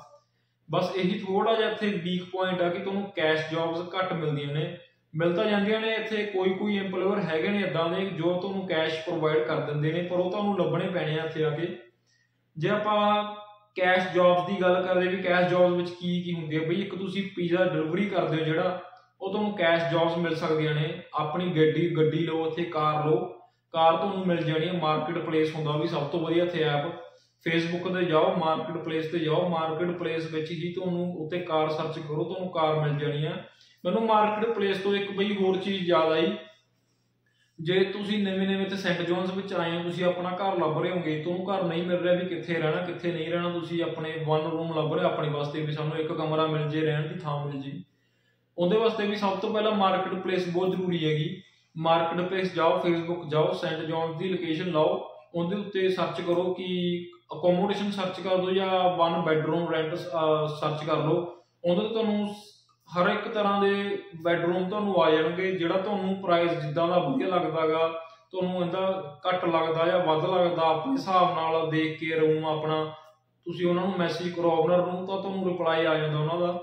ਫਿਰ ਉਹਨਾਂ ਨਾਲ ਡੀਲ ਕਰ ਲਓ ਕਿ ਹਾਂ, ਮੈਂ ਇੰਨੀ ਤਰੀਕ ਨੂੰ ਆਉਣਾਗਾ ਤੋ ਉੱਥੇ ਮਾਰਕੀਟ ਪਲੇਸ ਤੇ ਜਾ ਕੇ ਤੁਹਾਨੂੰ ਇਦਾਂ ਦਾ ਸਾਰਾ ਕੁਝ ਮਿਲ ਸਕਦਾ ਵੀ ਇੱਥੇ ਜਿੱਦਾਂ ਜਿੰਨੀਆਂ ਵੀ ਚੀਜ਼ਾਂ ਨੇ ਯਾਰ, ਇੱਥੇ ਮਾਰਕੀਟ ਪਲੇਸ ਤੇ ਅਵੇਲੇਬਲ ਹੁੰਦੀਆਂ ਨੇ। ਮਾਰਕੀਟ ਪਲੇਸ ਉਦਾਂ ਜਿਵੇਂ ਆਪਣੇ ਇੰਡੀਆ ਵਿੱਚ OLX ਚੱਲਦਾ ਹੈ OLX ਤੇ ਆਪਾਂ ਪੁਰਾਣੀ ਚੀਜ਼ਾਂ ਦੇਖਦੇ ਆ ਘਰ ਦੇਖਦੇ ਆ ਗੱਡੀਆਂ ਦੇਖਦੇ ਆ ਉਦਾਂ ਇੱਥੇ ਮਾਰਕੀਟ ਪਲੇਸ ਫੇਮਸ ਹੈ। ਇੱਕ ਹੈ ਕਜੀਜੀ ਕਜੀਜੀ ਤੁਸੀਂ ਡਾਊਨਲੋਡ ਕਰ ਸਕਦੇ ਹੋ। ਕਜੀਜੀ ਤੇ ਵੀ ਤੁਹਾਨੂੰ ਕਾਫੀ ਕੁਝ ਮਿਲ ਜਾਂਦਾ ਪੁਰਾਣਾ ਚੀਜ਼ਾਂ। ਤੇ ਜੇ ਆਪਾਂ ਕੈਸ਼ ਜੌਬ ਦੀ ਗੱਲ ਕਰਦੇ ਆ ਵੀ ਇੱਕ ਪੀਜ਼ਾ ਡਿਲੀਵਰੀ ਦੀ ਤੁਹਾਨੂੰ ਜੌਬ ਮਿਲਦੀ ਹੈ। ਦੂਜੀ ਗੱਲ, Amazon ਵਿੱਚ ਤੁਹਾਨੂੰ ਮਿਲ ਜਾਂਦੀ ਹੈਗੀ ਜੇ ਤੁਸੀਂ ਆਪਣਾ ਡਰਾਈਵਿੰਗ ਲਾਇਸੈਂਸ ਤੁਹਾਡੇ ਕੋਲ ਹੈਗਾਗਾ, ਤੁਸੀਂ Amazon ਕੰਪਨੀ ਵਿੱਚ ਜਾਓ, ਉਹਨਾਂ ਨੂੰ ਰੈਜ਼ੂਮੇ ਦਿਓ ਆਪਣਾ, ਤੁਸੀਂ ਗੱਡੀ ਤੁਹਾਨੂੰ ਦੇ ਦੇਣੀ, ਉਹਨਾਂ ਨੇ ਆਪਦੀ ਕੰਪਨੀ ਦੀ ਗੱਡੀ ਹੁੰਦੀ ਹੈਗੀ, ਉਹ ਤੁਹਾਨੂੰ ਕੈਸ਼ ਜੋ ਕੈਸ਼ ਹੀ ਦਿੰਦੇ ਨੇ ਉਹ। ਤੇ ਇੱਕ ਤੁਸੀਂ ਕਰ ਸਕਦੇ ਹੋ ਵੀ ਆਪਣਾ ਸਕਿਪ ਦਾ ਕੰਮ ਸਕਿਪ ਦਾ ਕੰਮ ਕੈਸ਼ ਨਹੀਂ ਹੁੰਦਾ, ਇਹ ਕੰਮ ਤੁਹਾਡੇ ਅਕਾਊਂਟ ਵਿੱਚ ਹੀ ਆਉਂਦੇ ਨੇ। ਸਕਿਪ ਦਾ ਕੰਮ ਇਦਾਂ ਹੁੰਦਾ ਯਾਰ ਸਕਿਪ ਹੁੰਦੀ ਹੈ, ਜਿਵੇਂ ਆਪਣੇ ਇੰਡੀਆ ਵਿੱਚ ਜ਼ੋਮੈਟੋ ਚੱਲਦਾ ਸਵੀਗੀ ਚੱਲਦਾ ਉਦਾਂ ਬਈ ਇੱਥੇ ਜਾ ਕੇ ਸਕਿਪ ਹੁੰਦੀ ਹੈ ਸਕਿਪ ਦਾ ਡੋਰ ਡੈਸ਼ ਹੁੰਦੀ ਹੈ ਤੇ ਉਬਰ ਹੁੰਦੀ ਹੈ ਵੀ ਉਬਰ ਚਲਾ ਸਕਦੇ ਹੋਗੇ ਤੁਸੀਂ। ਉਹਦੇ ਲਈ ਤੁਹਾਨੂੰ ਆਪਣੀ ਗੱਡੀ ਚਾਹੀਦੀ ਹੁੰਦੀ ਹੈ, ਕਾਰ। ਤੁਸੀਂ ਆਪਣੀ ਕਾਰ ਲਓ, ਪੁਰਾਣੀ ਕਾਰ ਲਓ, ਤੁਹਾਨੂੰ 4 ਜਾਂ 5000 ਡਾਲਰ ਦੇ ਆਸ-ਪਾਸ ਤੁਹਾਨੂੰ ਕਾਰ ਮਿਲ ਜਾਂਦੀ ਹੈ, ਇੱਕ ਵਧੀਆ ਜਿਹਾ ਮਾਡਲ ਆਪਦਾ ਲਾਇਸੈਂਸ ਬਣਾਓ ਟੈਸਟ ਦੋ ਲਾਇਸੈਂਸ ਤੁਹਾਡਾ ਉਦੋਂ ਬਾਅਦ ਲਾਇਸੈਂਸ ਬਣ ਜਾਂਦਾ। ਤੇ ਇੰਸ਼ੋਰੈਂਸ ਤੁਹਾਨੂੰ ਪੇ ਕਰਨੀ ਪੈਂਦੀ ਹੈ ਹਰ ਮਹੀਨੇ ਤੇ ਤੁਸੀਂ ਕਾਰ ਤੇ ਆਪਣਾ delivery as a delivery man ਤੁਸੀਂ ਕੰਮ ਕਰ ਸਕਦੇ ਹੋਗੇ। ਉਹ ਕੰਮ ਵੀ ਤਾਂ ਵਧੀਆ ਹੈਗਾ ਕਿ ਤੁਹਾਨੂੰ ਕਿਸੇ ਅੰਡਰ ਕੰਮ ਕਰਨ ਦੀ ਲੋੜ ਨਹੀਂ ਪੈਂਦੀ। ਤੁਸੀਂ ਆਪਣੇ ਖੁਦ ਦੇ ਬੌਸ ਤੁਸੀਂ ਆਪ ਹੀ ਹੁੰਦੇ ਹੋਗੇ। ਤੁਸੀਂ ਉੱਦਾਂ ਕੰਮ ਕਰ ਸਕਦੇ ਹੋਗੇ। ਪਰ ਸਟੂਡੈਂਟ ਲਈ ਜਿਨ੍ਹਾਂ ਦੇ ਕਰ ਆਪਾਂ ਪੀਆਰ ਨਹੀਂ ਹੁੰਦੇ ਬਈ ਉਸ ਟਾਈਮ ਤਾਂ ਆਪਾਂ ਨੂੰ EMPLOYER ਦੀ ਹੈਲਪ ਹੀ ਲੈਣੀ ਪੈਂਦੀ ਹੈ ਕਿਉਂਕਿ ਆਪਣੀ ਜੋ ਪੀਆਰ ਵਿੱਚ ਹੈਲਪ ਕਰਦਾ ਹੈ, ਇੱਕ EMPLOYER ਹੀ ਕਰਦਾ ਹੈਲਪ ਉਹਨੇ ਹੀ ਆਪਾਂ ਨੂੰ ਡਾਕੂਮੈਂਟ ਦੇਣੇ ਹੁੰਦੇ ਨੇ। ਤੇ ਤੁਹਾਡੀ ਜਿਹੜੀ ਆਪਣੇ ਇੱਥੇ ਸੈਲਰੀ ਆਉਂਦੀ ਹੈ ਵੀ ਉਹ ਅਕਾਊਂਟ ਵਿੱਚ ਬਾਈ ਵੀਕਲੀ ਆ ਜਾਂਦੀ ਹੈਗੀ, ਤੁਹਾਡੇ ਹਰ 2 ਹਫ਼ਤਿਆਂ ਵਿੱਚ ਤੁਹਾਡੀ ਸੈਲਰੀ ਆ ਜਾਂਦੀ ਹੈ ਇੱਥੇ। ਜਿੱਦਾਂ ਆਪਣੇ ਇੰਡੀਆ ਮਹੀਨੇ ਦਾ ਕੰਮ ਚੱਲਦਾ, ਕਿ ਮਹੀਨੇ ਬਾਅਦ ਆਪਣੀ ਇਨਕਮ ਹੁੰਦੀ ਹੈਗੀ। ਇੱਥੇ ਵੀ ਤੁਹਾਨੂੰ ਬਾਈ ਵੀਕਲੀ ਚੱਲੂਗਾ, ਹਰ 2 ਹਫ਼ਤਿਆਂ ਬਾਅਦ ਤੁਹਾਨੂੰ ਸੈਲਰੀ ਅਕਾਊਂਟ ਵਿੱਚ ਮਿਲ ਜਾਣਿਆ ਕਰਨੀ ਹੈਗੀ। ਤੇ ਇਸ ਤੋਂ ਬਾਅਦ ਆਪਾਂ ਅਗਲੇ ਸਟੈਪ ਤੇ ਆਉਣੇ ਆਗੇ ਕਿ ਇੱਥੇ ਆ ਕੇ ਜੌਬਸ ਕਿੱਦਾਂ ਲੱਭਣੀਆਂ ਨੇ, ਕਿਵੇਂ ਮਿਲਦੀਆਂ ਨੇ ਜੌਬਸ ਬਈ ਤੁਸੀਂ ਕੁਝ ਨਹੀਂ ਕਰਨਾ ਸਿੰਪਲ ਜਿਹਾ ਵੇ ਹੈਗਾ। ਆਪਣਾ ਇੰਡੀਡ ਚਲਾਓ ਇੰਡੀਡ ਖੋਲੋ ਪਲੇ ਸਟੋਰ ਤੇ ਡਾਊਨਲੋਡ ਕਰ ਲਓ। ਤੇ ਇੰਡੀਡ ਤੇ ਤੁਹਾਨੂੰ ਜੇ, ਜਿਹੜੇ ਇੱਥੇ ਦੇ EMPLOYER ਹੁੰਦੇ ਨੇ, ਉਹ ਉਹਨਾਂ ਨੇ ਐਡਵਰਟਾਈਜ਼ਮੈਂਟ ਪਾਈ ਹੁੰਦੀ ਹੈਗੀ। ਜਿਨ੍ਹਾਂ ਨੂੰ ਵਾਲਮਾਰਟ 'ਚ ਕੰਮ ਚਾਹੀਦਾ ਹੁੰਦਾ, ਉਹ ਵਾਲਮਾਰਟ ਦੀ ਐਡ ਪਾਉਂਦੇ ਨੇ। ਇੱਥੇ ਇੱਕ ਸੋਬੇਜ਼ ਹੈਗਾ। ਗਰੋਸਰੀ ਸਟੋਰ ਆ, ਉੱਥੇ ਚਾਹੀਦਾ ਹੁੰਦਾ, ਉਹ ਸੋਬੇਜ਼ ਵਾਲੇ ਪਾ ਦਿੰਦੇ ਨੇ ਐਡ ਤੁਹਾਨੂੰ ਤਰ੍ਹਾਂ ਤਰ੍ਹਾਂ ਦੀ ਐਡਾਂ ਮਿਲ ਜਾਣਗੀਆਂ। ਜੇ ਤੁਸੀਂ ਰੈਸਟੋਰੈਂਟ 'ਚ ਜੌਬ ਲੱਭਣੀ ਆ ਤੁਸੀਂ ਸਿੰਪਲ ਜਾਂ ਇੰਡੀਡ ਤੇ ਭਰੋ ਕਿ ਰੈਸਟੋਰੈਂਟਸ ਜੌਬਸ ਜਾਂ ਸਟੂਡੈਂਟ ਪਾਰਟ ਟਾਈਮ ਜੌਬ ਉੱਥੇ ਤੇ ਜਾ ਕੇ ਤੁਹਾਨੂੰ ਤਰ੍ਹਾਂ ਤਰ੍ਹਾਂ ਦੀਆਂ ਜੌਬਾਂ ਮਿਲ ਜਾਣਗੀਆਂ ਹੈਗੀਆਂ। ਉਹਨਾਂ ਨੂੰ ਅਪਲਾਈ ਕਰੋ ਤੁਸੀਂ ਮੇਲ ਕਰੋ, ਤੁਹਾਨੂੰ ਉਹਨਾਂ ਦਾ ਰਿਪਲਾਈ ਆਊਗਾ, ਤੁਹਾਨੂੰ ਉਹ ਮੇਲ ਪਾਉਣਗੇ, ਤਾਂ ਤੂੰ, ਫਿਰ ਤੁਹਾਨੂੰ ਉਹ ਹਾਇਰਿੰਗ ਲਈ ਬੁਲਾਉਣਗੇ। ਹਾਇਰਿੰਗ ਤੋਂ ਬਾਅਦ ਤੁਹਾਡੀ ਇੰਟਰਵਿਊ ਸਟਾਰਟ ਹੋਣੀ ਹੈਗੀ। ਤਾਂ ਇਦਾਂ ਕਰਦੇ ਕਰਦੇ ਤੁਹਾਨੂੰ ਜੌਬ ਮਿਲ ਜਾਣੀ ਹੈਗੀ। ਇੰਡੀਡ ਬਹੁਤ ਵਧੀਆ ਐਪਲੀਕੇਸ਼ਨ ਹੈ ਯਾਰ, ਇੱਥੇ ਬਹੁਤ ਵਧੀਆ ਚੀਜ਼ ਹੈਗੀ ਤੁਹਾਨੂੰ ਜੌਬਸ ਵਾਸਤੇ ਹੈਲਪਫੁਲ ਆ ਪੂਰਾ। ਇੱਕ ਦੂਜੀ ਆ ਜਾਂਦੀ ਆਪਣੇ ਇੱਕ ਜੀਜੀ। ਕਿ ਜੀਜੀ ਵੀ ਬਈ ਇੱਥੇ ਬਹੁਤ ਸਾਰਾ ਚੀਜ਼ ਹੈਗੀ ਕਿ ਜਿਹਦੇ ਤੁਸੀਂ ਜੌਬਸ ਲੱਭ ਸਕਦੇ ਹੋਗੇ, ਸਾਰਾ ਕੁਝ ਕਰ ਸਕਦੇ ਹੋ। ਜਿੱਦਾਂ ਤੁਹਾਨੂੰ ਮੈਂ ਪਹਿਲਾਂ ਦੱਸਿਆਗਾ ਕਿ ਤੁਸੀਂ ਆਪਣਾ ਘਰ ਲੈਣਾ, ਕੋਈ ਕਾਰ ਲੈਣੀ ਹੈ ਕਿ ਜੀਜੀ ਡਾਊਨਲੋਡ ਕਰੋ। ਐਦਾਂ ਵੀ ਇੱਕ ਜੀਜੀ ਜੌਬਸ ਵਾਸਤੇ ਬਹੁਤ ਵਧੀਆ, ਇੱਥੇ ਇੱਕ ਜੀਜੀ ਦੇ ਵੀ ਐਡਵਰਟਾਈਜ਼ਮੈਂਟ ਪਾ ਹੁੰਦੇ ਨੇ। ਆਪਣਾ ਰੈਜ਼ੂਮੇ ਬਣਾਓ ਵੀ, ਤੇ ਦੂਜੀ ਤੁਸੀਂ ਕਿਤੇ ਆਪਣੇ ਰਸਤੇ 'ਚ ਜਾਂਦੇ ਹੋਗੇ ਯਾਨੀ ਬੱਸ 'ਚ ਤੁਸੀਂ ਫੋਰ ਐਗਜ਼ਾਮਪਲ ਤੁਸੀਂ ਬੱਸ 'ਚ ਬਹਿ ਗਏ, ਬੱਸ 'ਚ ਕਾਲਜ ਜਾ ਰਹੇ ਹੋਗੇ ਕਾਲਜ ਵਿੱਚ ਤੁਹਾਨੂੰ ਰਸਤੇ 'ਚ ਕਿਤੇ ਨਾ ਕਿਤੇ ਤੁਹਾਨੂੰ ਐਡਵਰਟਾਈਜ਼ਮੈਂਟ ਦਿਖ ਜਾਣੀ ਹੈ ਕਿ ਇੱਥੇ hiring for part time job hiring for full time job ਨੀਚੇ ਲਿਖਿਆ ਹੋਣਾ ਉਹਨਾਂ ਦਾ ਵੇਜ ਰੇਟ ਵੀ 14.5 ਡਾਲਰ ਤੇ 17 ਡਾਲਰ ਐਦਾਂ ਦਾ ਐਡਵਰਟਾਈਜ਼ਮੈਂਟ ਦਿੱਤੀ ਹੁੰਦੀ ਹੈ ਰਸਤੇ 'ਚ ਸਟਰੀਟ ਰਸਤੇ 'ਚ ਸਟਰੀਟ ਬੋਰਡ ਤੇ ਲਿਖਿਆ ਹੁੰਦਾਗਾ, ਤੁਸੀਂ ਉੱਦਾਂ ਵੀ ਆਪਣੀ ਜੌਬ ਫਾਈਂਡ ਕਰ ਸਕਦੇ ਹੋਗੇ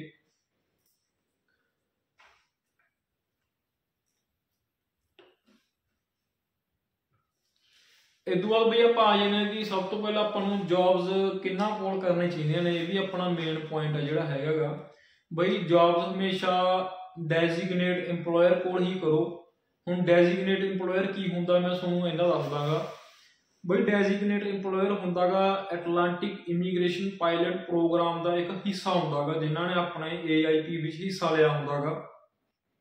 ਸਿਰਫ ਤੁਹਾਨੂੰ ਜੇ ਤੁਸੀਂ ਆਪਣੀ PR ਦੀ ਫਾਈਲ AIP ਸਟ੍ਰੀਮ ਹੁੰਦਾ ਤੇ ਸਟ੍ਰੀਮ ਚੱਲਦਾ ਪੀਆਰ ਦੀ ਜੇ ਉਹਦੇ ਵਿੱਚ ਤੁਸੀਂ ਆਪਣੀ ਫਾਈਲ ਲਾਉਣੀ ਹੈ ਤਾਂ ਤੁਸੀਂ AIP EMPLOYER ਕੋਲ ਹੀ ਆਪਣੀ ਜੌਬ ਕਰੋ। ਤੇ ਉਹ ਤੁਹਾਨੂੰ ਆਪਣੇ ਡਾਕੂਮੈਂਟਸ ਦੇ ਦਿੰਦਾਗਾ। 1600 1560 ਘੰਟਿਆਂ ਦਾ ਐਕਸਪੀਰੀਅੰਸ ਹੁੰਦਾਗਾ AIP ਵਿੱਚ।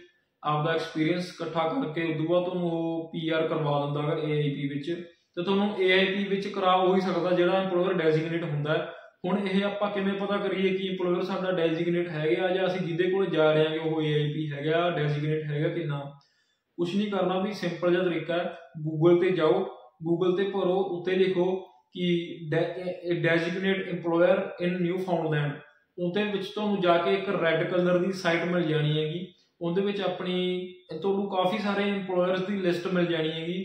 ਲਿਸਟ ਵਿੱਚ ਤੁਸੀਂ ਫਾਊਂਡ ਆਊਟ ਫਾਈਂਡ ਆਊਟ ਕਰ ਸਕਦੇ ਹੋਗੇ ਕਿ ਅਸੀਂ ਕਿਹੜੇ ਕਿਹੜੇ ਇੱਥੇ ਸੈਂਟ ਜੌਨਸ ਵਿੱਚ ਹੈਗੇ ਨੇ EMPLOYER ਜਿਹੜੇ ਡੈਜ਼ਿਗਨੇਟ ਨੇ AIP ਦੇ, ਜਾਂ ਕਿਹੜੇ ਕਿਹੜੇ ਗੈਂਡਰ ਵਿੱਚ, ਕਿਹੜੇ ਕਿਹੜੇ ਕਾਰਨਰ ਬਰੂਕ ਵਿੱਚ, ਜਾਂ ਕਿਹੜੇ ਕਿਹੜੇ ਹੈਪੀ ਵੈਲੇ ਗੂਸਵੇ ਵਿੱਚ ਆਪਣੇ ਸਿਟੀਜ਼ ਆ ਜਾਂਦੇ ਨਿਊ ਫਾਊਂਡਲੈਂਡ ਦੀਆਂ।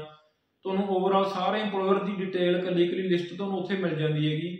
ਜਿਵੇਂ ਹੁਣ ਮੈਕਡੋਨਾਲਡ ਰੈਸਟੋਰੈਂਟਸ ਆ ਗਿਆ, ਹੁਣ ਮੈਂ ਮੈਕਡੋਨਾਲਡ ਵਿੱਚ ਜਾਣਾ ਜੌਬ ਕਰਨ। ਤੇ ਮੈਂ ਚਾਹਣਾ ਕਿ ਮੈਨੂੰ ਮੈਕਡੋਨਾਲਡ ਦਾ ਪਤਾ ਲੱਗ ਜੇ ਕਿ ਇਹ AIP ਦੇ ਡੈਜ਼ਿਗਨੇਟ ਹੈਗਾ ਕਿ ਨਾ। ਮੈਂ ਜਾਊਂਗਾ ਜਸਟ ਗੂਗਲ ਤੇ ਗੂਗਲ ਤੇ ਭਰੂੰਗਾ Newfoundland sorry designate EMPLOYERS in Newfoundland ਭਰੂੰਗਾ। ਉਦੋਂ ਬਾਅਦ ਮੇਰੇ ਕੋਲ ਲਿਸਟ ਆ ਜਾਣੀ ਉਹਦੇ ਵਿੱਚ ਇੱਕ ਸਰਚ ਬਾਕਸ ਵੀ ਹੋਊਗਾ ਤੁਹਾਨੂੰ। ਸਰਚ ਬਾਕਸ ਉੱਤੇ ਮੈਂ ਭਰ ਦੂੰਗਾ ਨਿਊ ਆਪਣੇ ਮੈਕਡੋਨਾਲਡ ਇਨ ਸੈਂਟ ਜੌਨਸ ਤੇ ਸੈਂਟ ਜੌਨ ਤੋਂ ਲੈ ਕੇ ਕਾਫੀ ਸਾਰੇ ਜਿਹੜੇ ਜਿਹੜੇ ਆਪਣੇ ਡੈਜ਼ਿਗਨੇਟ EMPLOYER ਹੋਣਗੇ ਮੈਕਡੋਨਾਲਡ ਦੇ, ਉਹ ਆ ਜਾਣੇ ਆ। ਤੇ ਮੈਂ, ਮੈਨੂੰ ਪਤਾ ਲੱਗ ਜੂਗਾ ਕਿ ਹਾਂ, ਇਹ ਬ੍ਰਾਂਚ ਹੈਗੀ ਹੈ ਜਾਂ ਇਹ ਓਨਰ ਆ, ਆਪਣੇ EMPLOYER ਹੈਗਾ, ਇਹ ਡੈਜ਼ਿਗਨੇਟ ਹੈਗਾ AIP ਦਾ ਤੇ ਉਹਨਾਂ ਕੋਲ ਜਾ ਕੇ ਪ੍ਰੈਫਰ ਕਰੂੰਗਾ ਕਿ ਮੈਨੂੰ ਉਹਨਾਂ ਕੋਲ ਜੌਬ ਮਿਲੇ। ਜ਼ਰੂਰੀ ਹੈ ਵੀ ਹੈ ਤੇ ਜ਼ਰੂਰੀ ਨਹੀਂ ਵੀ ਹੈਗਾ ਕਿਉਂਕਿ ਵੈਸੇ ਜ਼ਰੂਰੀ ਹੈ ਯਾਰ ਇਹ ਕਿਉਂਕਿ ਆਪਾਂ ਇੱਥੇ ਆ ਕੇ ਜੋ ਆਪਣੀ AIP ਹੀ ਇੱਕ ਸਟਰੀਮ ਆ ਜਿਹੜੀ ਆਪਾਂ ਨੂੰ ਜਲਦੀ PR ਕਰਵਾ ਦਿੰਦੀ ਹੈ ਨਿਊ ਫਾਊਂਡਲੈਂਡ ਵਿੱਚ। ਤਾਂ ਤੁਸੀਂ ਟਰਾਈ ਕਰਿਓ। ਜੇ ਤੁਹਾਨੂੰ ਜੌਬ ਮਿਲਦੀ ਹੈ ਤਾਂ ਆਪਣਾ EMPLOYER ਡੈਜ਼ਿਗਨੇਟ EMPLOYER ਕੋਲ ਹੀ ਜੌਬ ਕਰੋ, ਨਹੀਂ ਤਾਂ ਬਾਕੀ ਦਾ ਵੀ ਬੈਠੇ ਨੇ, ਬਹੁਤ ਜ਼ਿਆਦਾ ਬੈਠੇ ਨੇ ਇੱਥੇ EMPLOYER, ਬਾਕੀ ਕੋਲ ਵੀ ਤੁਸੀਂ ਜੌਬ ਕਰ ਸਕਦੇ ਹੋਗੇ ਪਰ ਬੈਨੀਫਿਟ ਤੁਹਾਨੂੰ ਉੱਥੇ ਇੰਨਾ ਹੋਣਾ ਕਿ ਤੁਹਾਡੇ ਇੱਕ ਤਾਂ EMPLOYER ਨਾਲ ਬਣ ਜਾਣੀ ਵਧੀਆ। ਤੁਸੀਂ ਆਪਣਾ ਸਾਲ 2 ਸਾਲ 3 ਸਾਲ ਲਗਾਤਾਰ ਉਹਦੇ ਕੋਲ ਕੰਮ ਕਰਨਾ ਜਦੋਂ ਤੱਕ ਤੁਹਾਨੂੰ PR ਨਹੀਂ ਆਉਂਦੀ। ਤੁਹਾਡਾ ਜਿਹੜਾ ਐਕਸਪੀਰੀਅੰਸ ਆ, ਤੁਹਾਡਾ ਉਹ ਵੀ ਆਪਣਾ ਸ਼ੋਅ ਨਹੀਂ ਕਰਨ ਦੀ ਲੋੜ ਹੈ ਕਿ ਜੇ ਤੁਸੀਂ ਸਿੱਧਾ ਇੰਡੀਆ ਤੋਂ ਨਿਊ ਫਾਊਂਡਲੈਂਡ ਵਿੱਚ ਆਉਣੇ ਹੋਗੇ ਤਾਂ ਤੁਹਾਨੂੰ ਐਕਸਪੀਰੀਅੰਸ 1560 ਘੰਟੇ ਵਾਲਾ ਐਕਸਪੀਰੀਅੰਸ ਹੁੰਦਾ, ਉਹ ਕੋਈ ਸ਼ੋਅ ਕਰਨ ਦੀ ਲੋੜ ਨਹੀਂ ਹੈ। 1560 ਘੰਟੇ ਵਾਲਾ ਐਕਸਪੀਰੀਅੰਸ ਉਹ ਸਟੂਡੈਂਟਸ ਲਈ ਹੈ ਜਿਹੜੇ ਆਊਟ ਆਫ ਪ੍ਰੋਵਿੰਸ ਆ ਰਹੇ ਨੇ, ਜੋ ਬ੍ਰੈਂਪਟਨ ਵਿੱਚੋਂ ਆ ਰਹੇ ਨੇ ਟੋਰਾਂਟੋ ਵਿੱਚੋਂ। ਕਿਉਂਕਿ ਇੱਥੇ ਬ੍ਰੈਂਪਟਨ ਟੋਰਾਂਟੋ ਵਿੱਚੋਂ ਵੀ ਕਾਫੀ ਸਾਰੇ ਆ ਰਹੇ ਨੇ, ਜਿਨ੍ਹਾਂ ਕੋਲੇ ਆਪਣੇ 2 ਸਾਲਾਂ ਦੀ ਸਟੱਡੀ ਪੂਰੀ ਕਰਨ ਤੋਂ ਬਾਅਦ ਉਧਰ ਪੀਆਰ ਥੋੜੀ ਔਖੀ ਆ, ਤੇ ਪੀਆਰ ਲੈਣ ਲਈ ਉਹ ਇੱਧਰ ਮੂਵ ਹੋ ਜਾਂਦੇ ਨੇ ਨਿਊ ਫਾਊਂਡਲੈਂਡ ਵਿੱਚ। ਤਾਂ ਉਹਨਾਂ ਲਈ ਇਹ, ਜੋ ਨਵੇਂ ਆ ਰਹੇ ਨੇ ਆਪਣੇ ਸਟੂਡੈਂਟਸ ਉਹਨਾਂ ਨੂੰ ਲੋੜ ਨਹੀਂ ਪੈਂਦੀ 1560 ਘੰਟੇ ਦੀ। ਉਹਨਾਂ ਨੇ ਜਸਟ ਆਪਣੀ ਸਟੱਡੀ ਪੂਰੀ ਕਰਨੀ ਆ। ਸਟੱਡੀ ਪੂਰੀ ਕਰਕੇ 2 ਸਾਲਾਂ ਦੀ, ਉਦੋਂ ਬਾਅਦ ਆਪਣੇ ਡੈਜ਼ਿਗਨੇਟ EMPLOYER ਨੂੰ ਕੋਲੇ ਜਦੋਂ ਆਪਣਾ ਤੀਜੇ ਸਾਲ ਦੇ ਵਿੱਚ ਆਪਣਾ ਵਰਕ ਪਰਮਿਟ ਆਉਂਦਾ ਹੁੰਦਾ ਤੇ ਤੀਜੇ ਸਾਲ ਦੇ ਵਿੱਚ ਵਿੱਚ ਆਪਾਂ EMPLOYER ਤੋਂ ਡਾਕੂਮੈਂਟ ਲੈ ਸਕਦੇ ਹਾਂ ਜੇ ਡਾਕੂਮੈਂਟ ਲੈ ਕੇ ਆਪਾਂ ਉਹਨਾਂ ਨੂੰ ਕਹਿ ਸਕਦੇ ਹਾਂ ਕਿ ਸਾਨੂੰ ਕੋਈ ਆਪਣਾ PR ਦੀ ਫਾਈਲ ਲਾਉਣੀ ਹੈ ਕਿ ਸਾਨੂੰ ਡਾਕੂਮੈਂਟ ਦਿੱਤੇ ਜਾਣ। ਤਾਂ ਤੁਹਾਡਾ ਜਿਹੜਾ EMPLOYER ਆ, ਤੁਹਾਨੂੰ ਤੁਹਾਡੀ ਹੈਲਪ ਕਰਨ ਵਿੱਚ ਪੂਰਾ ਹੈਲਪਫੁਲ ਹੋਊਗਾ ਕਿਉਂਕਿ ਤੁਸੀਂ ਉਹਦੇ ਕੋਲੇ 2 ਸਾਲ ਕੰਮ ਕੀਤਾ, ਤੁਹਾਡੀ ਕਾਫੀ ਸਾਰੇ ਰਿਲੇਸ਼ਨ ਬਣ ਜਾਣਗੇ EMPLOYER ਨਾਲ। ਤੇ ਇਹ ਬਈ ਸਿੰਪਲ ਜਿਹਾ ਵੇ ਹੈਗਾ ਇੱਥੇ ਜੌਬਸ ਲੱਭਣ ਦਾ। ਬਾਕੀ ਆਉਣ ਵਾਲੀਆਂ ਵੀਡੀਓਜ਼ ਵਿੱਚ ਮੈਂ ਕਾਫੀ ਕੁਝ ਲੈ ਕੇ ਆਉਂਗਾ ਹੋਰ ਵੀ ਨਵਾਂ ਤੋਂ ਨਵੀਂ ਚੀਜ਼ਾਂ ਇੱਥੇ ਦੱਸੂਗਾ ਤੁਹਾਨੂੰ, ਮੈਨੂੰ ਟਾਈਮਿੰਗ ਦੀ ਸ਼ਾਰਟੇਜ ਨਹੀਂ ਮਿਲਦੀ। ਪਰ ਮੈਂ ਟਰਾਈ ਕਰ ਰਿਹਾ ਆਪਣੇ ਵੱਲੋਂ ਕਿ ਮੈਂ ਕਾਫੀ ਸਾਰੀਆਂ ਚੀਜ਼ਾਂ ਇੱਕ ਵੀਡੀਓ ਵਿੱਚ ਦੱਸ ਦਵਾਂ। ਤੇ ਬਾਕੀ ਮੈਨੂੰ ਉਮੀਦ ਆ ਵੀ ਤੁਹਾਨੂੰ ਅੱਜ ਦਾ ਵਲੌਗ ਵਧੀਆ ਲੱਗਿਆ ਹੋਣਾ ਹੈਗਾ। ਇਹਦੇ ਵਿੱਚ ਮੈਂ ਕਾਫੀ ਹੱਦ ਤੱਕ ਜੌਬਸ ਬਾਰੇ ਦੱਸ ਚੁੱਕਿਆ ਕਿ ਜੌਬਸ ਇੱਥੇ ਕਿੱਦਾਂ ਮਿਲਦੀਆਂ ਨੇ। ਤੁਸੀਂ ਟੈਨਸ਼ਨ ਨਾ ਲਓ ਵੀ ਆਪਣੇ ਇੰਡੀਆ ਵਿੱਚੋਂ ਕਾਫੀ ਮੈਨੂੰ ਕਮੈਂਟ ਆ ਰਹੇ ਨੇ ਕਿ ਬਈ ਕੰਮ ਕਿੱਦਾਂ ਮਿਲਦਾ, ਕੰਮ ਨਹੀਂ ਮਿਲਦਾ। ਕੰਮ ਬਈ ਥੋੜਾ ਜਿਹਾ ਘਟ ਜਾਂਦਾ, ਘਟਦਾ ਉਦੋਂ ਜਦੋਂ ਆਪਣੇ ਵਿੰਟਰ ਹੁੰਦਾ ਵਿੰਟਰ ਵਿੱਚ ਡਾਊਨ ਚਲਾ ਜਾਂਦਾਗਾ। ਪਰ ਵਿੰਟਰ ਵਿੱਚ ਡਾਊਨ ਬਈ ਇਕੱਲਾ ਨਿਊ ਫਾਊਂਡਲੈਂਡ ਵਿੱਚ ਨਹੀਂ ਜਾਂਦਾ ਕੰਮ, ਸਾਰੇ ਕੈਨੇਡਾ ਵਿੱਚ ਹੀ ਜਾਂਦਾਗਾ। ਕਿਉਂਕਿ ਵਿੰਟਰ ਇਫੈਕਟ ਕਰਦਾ ਬਿਜ਼ਨਸ ਨੂੰ ਕਾਫੀ ਜ਼ਿਆਦਾ, ਤੇ ਸਨੋ ਪੈਣ ਲੱਗ ਜਾਂਦੀ ਹੈ ਸਨੋ ਸਟਾਰਮਸ ਆਉਂਦੇ ਨੇ। ਤੂਫਾਨ ਆਉਂਦੇ ਨੇ ਭੂਚਾਲ ਕਾਫੀ ਕੁਝ ਆਉਂਦਾ ਉੱਥੇ। ਉਹਦੇ ਕਰਕੇ ਕੰਮ ਬੰਦ ਹੋ ਜਾਂਦੇ ਨੇ ਤੇ ਜਾਂ ਆਪਣੇ ਸਨੋ ਬਰਫ਼ ਪੈ ਜਾਂਦੀ ਹੈ ਕਾਫੀ 10-10 ਫੁੱਟ ਫੁੱਟ ਬਰਫ਼ ਪੈ ਜਾਂਦੀ ਹੈਗੀ 2-3 ਫੁੱਟ ਪੈ ਗਈ 4 ਫੁੱਟ ਪੈ ਗਈ, ਕਿਤੇ ਕਿਤੇ ਬਾਹਲੀ ਪੈਂਦੀ ਹੈ ਇੱਥੇ। ਇੰਨੀ ਥੋੜੀ ਜਿਹੀ ਪੈਂਦੀ ਹੈ, ਪਰ ਪੈਂਦੀ ਹੈ, ਪਰ ਉਹਦੇ ਕਰਕੇ ਵੀ ਕੰਮ ਡਾਊਨ ਚਲਾ ਜਾਂਦਾ ਥੋੜਾ ਜਿਹਾ ਵਿੰਟਰ ਵਿੱਚ ਆ ਕੇ। ਬਾਕੀ ਆਓ ਵੀ ਇੱਥੇ ਆਓ, ਆਪਾਂ ਬੈਠੇ ਆ ਸਾਰੇ ਇੱਥੇ ਹੈਗੇ ਪੰਜਾਬੀ ਸਟੂਡੈਂਟ ਤੁਹਾਡੀ ਹੈਲਪ ਲਈ ਤੁਹਾਡੇ ਸਾਰੇ ਹੈਗੇ ਪੰਜਾਬੀ ਭਰਾ ਆਪਣੇ ਨਾਲ ਹੋਰ ਵੀ ਬਥੇਰੇ ਹੈਗੇ ਨੇ। ਇੱਥੇ ਸਾਰੇ ਪੰਜਾਬੀ ਬਹੁਤ ਆ ਰਹੇ ਨੇ ਬਈ, ਆਉਣ ਵਾਲੇ ਟਾਈਮ ਦੇ ਵਿੱਚ ਬਹੁਤ ਜ਼ਿਆਦਾ ਇੱਥੇ ਆਉਣਗੇ। ਇਹ ਨਿਊ ਫਾਊਂਡਲੈਂਡ ਵੀ ਫੇਮਸ ਹੋ ਜਾਣਾ ਜਾਣਾਗਾ ਜਿੱਦਾਂ ਆਪਣੇ ਵਿਨੀਪੈਗ ਵਾਲੇ ਪਾਸੇ ਬੰਦੇ ਜਾਂਦੇ ਸੀਗੇ ਪੀਆਰ ਲੈਣ ਲਈ ਉਦਾਂ ਇਹੀ ਇੱਕ ਦਿਨ ਨਿਊ ਫਾਊਂਡਲੈਂਡ ਫੇਮਸ ਹੋ ਜਾਣਾਗਾ, ਬੰਦੇ ਇੱਧਰ ਆਇਆ ਕਰਨਗੇ। ਆ ਵੀ ਰਹੇ ਨੇ ਯਾਰ ਪੀਆਰ ਲੈਣ ਵਾਸਤੇ, ਮੈਂ ਦੇਖ ਰਾਂਗਾ ਕਾਫੀ ਸਾਰੇ ਨਵੀਂ ਪੰਜਾਬੀ ਆਪਣੇ ਇੱਧਰ ਆਈ ਜਾਂਦੇ ਨੇ, ਦੂਜੇ ਪ੍ਰੋਵਿੰਸਾਂ ਤੋਂ ਸਟੱਡੀ ਕਰ ਕਰ ਪੀਆਰ ਲੈਣ ਲਈ। ਬਾਕੀ ਅਗਲੇ ਵੀਡੀਓ ਵਿੱਚ ਮਿਲਦੇ ਹਾਂ ਤੁਹਾਨੂੰ। ਉਮੀਦ ਕਰਦਾ ਤੁਹਾਨੂੰ ਵਲੌਗ ਵਧੀਆ ਲੱਗਿਆ ਹੋਣਾਗਾ। ਅਗਲੀ ਵੀਡੀਓ ਵਿੱਚ ਤੁਹਾਨੂੰ ਮੈਂ ਹੋਰ ਵੀ ਕਾਫੀ ਜ਼ਰੂਰੀ ਗੱਲਾਂ ਦੱਸੂਗਾ ਕਿ ਕਿੱਦਾਂ ਕੀ ਹੁੰਦਾ ਉੱਥੇ, ਕੀ ਲਾਈਫ ਹੁੰਦੀ ਹੈ ਬੰਦੇ ਦੀ, ਕਿੰਨਾ ਕੁ ਬੰਦੇ ਨੂੰ ਇਨਕਮ ਕਰ ਲੈਂਦਾ ਬੰਦਾ। ਬਾਕੀ ਤੁਹਾਨੂੰ ਮੈਂ ਕਾਲਜ ਵਿੱਚ ਵੀ ਸਟੂਡੈਂਟਸ ਨਾਲ ਮਿਲਾਉਂਗਾ, ਜੇ ਮੈਨੂੰ ਟਾਈਮ ਲੱਗੇ ਤਾਂ। ਓਕੇ ਭਰਾ, ਮਿਲਦੇ ਆ ਸਭ ਨੂੰ।